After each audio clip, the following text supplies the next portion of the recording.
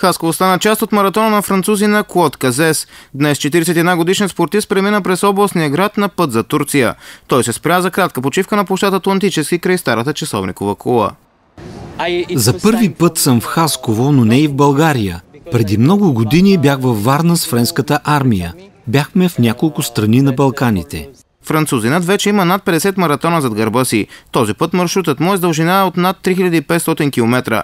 Целта на инициативата му е да събере средства за хората, пострадали от разрушителните земетресения в Турция. Миналата година се запознах с французин от турски происход. Обиколих Франция за друга кауза и този човек ме подкрепеше. Той ми беше спонсор. Реших да помогна на турците, а след няколко месеца там имаше земетресение. Чухме се и той каза, добре, сега знаем с каква кауза ще тичаш. Клод е тренирал 8 месеца за този маратон. Сега, въпреки че понякога изпитва болка, продължава да тича. След Хасково му остават над 1000 км до крайната точка, която е Адана.